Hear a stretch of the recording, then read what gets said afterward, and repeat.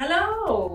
I am so excited for this video um, and I hope you are too. I've literally been asked four times this month um, to do this video and it is Scotch eggs. Exciting, I know. Oh, it's so soft. so nice. Once you've had these, the ones in the shop, look, it's so revolting. It's gonna be flour all over your house.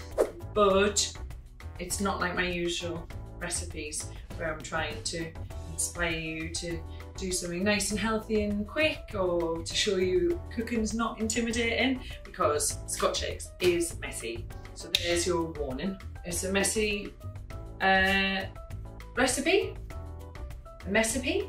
Don't be intimidated by that disclaimer. They're delicious, it's definitely worth doing. And I have a spoon that's just for Scotch eggs, I'm to show you. This is my Scotch egg spoon.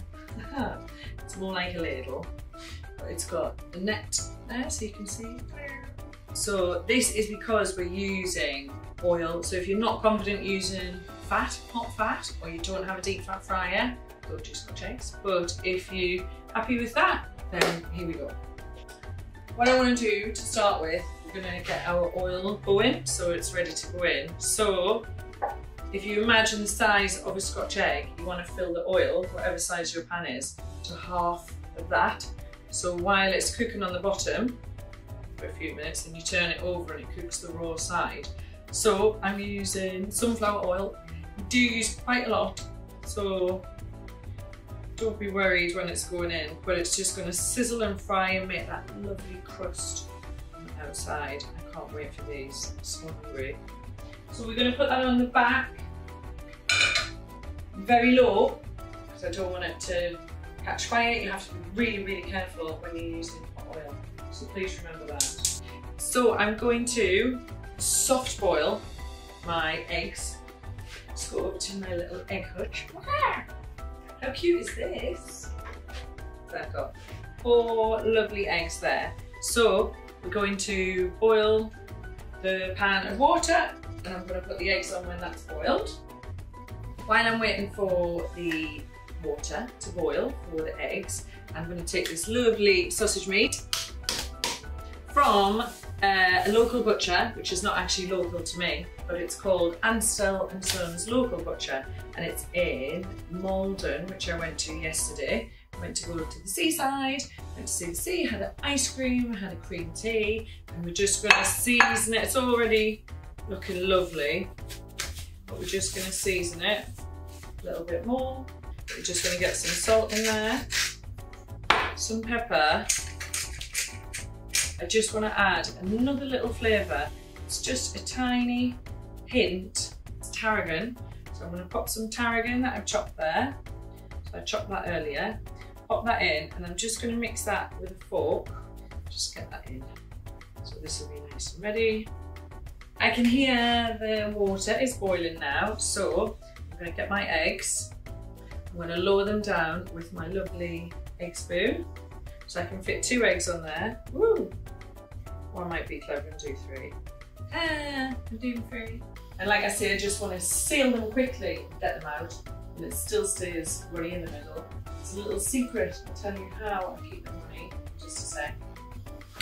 This is my first secret, don't tell anyone to making runny scotch eggs. Get them off the heat and cool them down as quickly as you can. If you keep them warm, you're going to keep solidifying and keep cooking and keep cooking and keep cooking and then you're going to get solid eggs. That's not what you want at all. So what I like to do is I just pop them straight away into a colander and I get them straight under the cold tap. So you want to get these off the heat. They've literally only been on about 90 seconds, about a minute and a half but you don't want them to cook through because they're going to be getting heat when they're in the when they're in the sausage meat. So I've just ran them under the cold tap there um, and then I put them in a bowl of cold water so that's just going to stop them cooking all the way through. So we've got our sausage meat now. We need to start making our production line, lovely blender, and then I have some old bread. I am actually going to use my second secret ingredient, which is Thai basil. You can get it in all uh, the Asian shops, but you can also get it in Waitrose um, and the bigger supermarkets. It's not like this um, exotic herb you've got to get flown in from uh, from Asia at all. So I've got that in there and I'm going to do some salt and pepper and I'm going to stick that in the blender, just like pulse, so the bread um, all gets blended in. And I've turned the oil off as well because um, just as I could hear it uh, bubbling, I knew it was ready. So the oil's off now.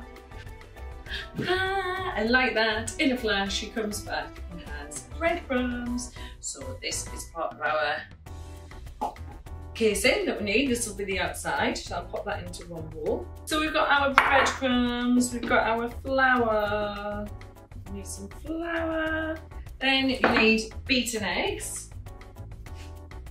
This is my egg cracking gadget. I've shown you before, but I love it. So hold your egg and you pop his little hat on and then you're going to hold that steady and you whack the top so you can just peel it off like that. Look, there you go, and you just pour it in. You just need to beat those just till the liquid.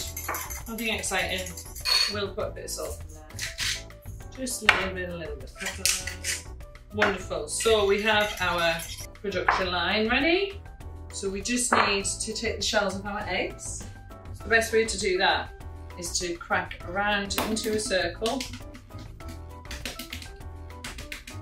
There you go. And then you can just start taking off eggs. I'm going to do four of these. So back. So now for the fun bit, make sure uh, you wash your hands. Kind of a squidgy job, so don't know how you feel about it, but it's fun. We've got to case the sausage around the eggs. I'll show you how to do it. So we want to get, um, yeah, about a little bit smaller than a cricket ball. I'm going to pop that down. And then what we need to do is just roll it into a circle. So you can press with your hands to get it really thin. What you have is this amount of sausage meat and then you want to curve your hand and you're going to cup the egg in here.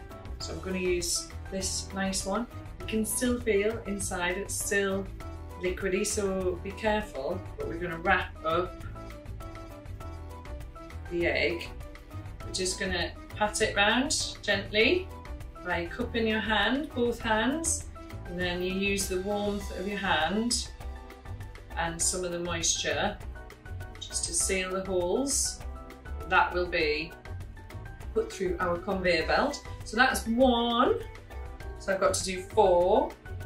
I'll be back in a second. So we've got our conveyor belt, I hope you can see. So it goes flour, beaten egg, breadcrumbs, finished egg. Lovely, here we go. So we've got our first egg. So it goes in the flour. So the whole egg is coated in flour. Ta Step one, lovely, done. Then straight into the egg, same thing. Now I'm going to grab a spoon, just because I don't want to make unnecessary mess. And you can turn that over in there, lovely. And then straight into the breadcrumbs. And then I do like a little jiggle around in the breadcrumbs. there you go. Jiggle, jiggle, jiggle. Make sure it's all coated. Turn it over. There you go. Now you can double coat. It's up to you how much of a crust you want. So you can actually dip it in the egg again and then into the breadcrumbs. It's up to yourself. I think that's enough. That is your scotch egg. That's number one. So we're gonna repeat that till we've got four scotch eggs. Let's go. There you go. Got four scotch eggs ready for the deep fat fryer. So you, if you have a deep fat fryer or you have a pan, you can just use sunflower oil. Um, now, people say it is dangerous, but if you watch it, it's not. So just don't get it too hot, don't get it too high, um, and you'll be fine. So a way to test if it's ready, you get one of the biggest breadcrumbs you can find, and when you think the oil is ready, if you pop in the breadcrumb, and if it's not ready, it'll sink to the bottom and just be wet and horrible. If it is ready, it'll sizzle straight away. You'll hear a sizzle instantly. So let's have a look. I think the oil might be ready. I'm going to pop in a large breadcrumb to see if it starts sizzling. Yeah, it's bubbling and sizzling, which means it's ready for eggies. Now, be very careful, it's boiling fat. We have to lower these down with the proper tool. Can't chuck them in because the oil splashes up, so make sure you're using something.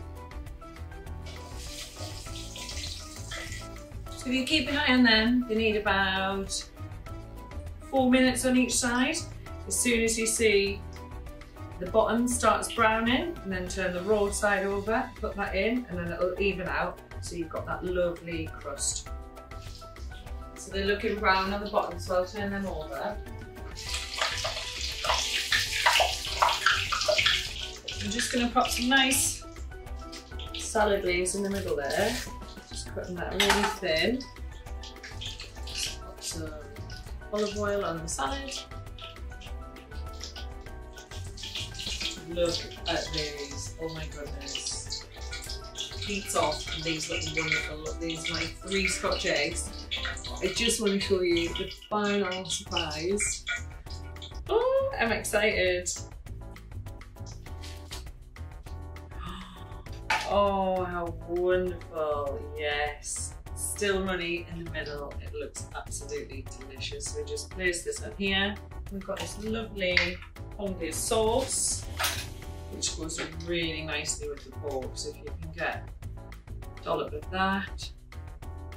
Look at this, wonderful. I'm going to put a little bit of paprika on, just a little bit for colour. And we just want salt and pepper. Hey, look at that. There is your perfectly soft scotch eggs.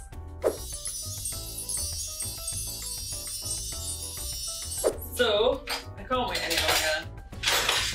I've been talking about these for weeks, so let's get dug in. Make sure I get some hollandaise as well.